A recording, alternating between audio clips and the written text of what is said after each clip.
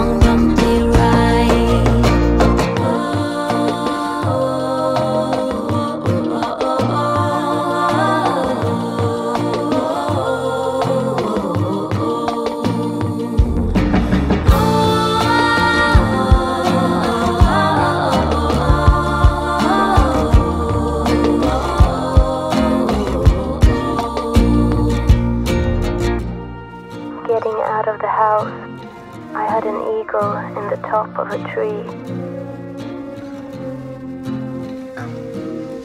I got a feeling it was saying something to me. I'm calling my father.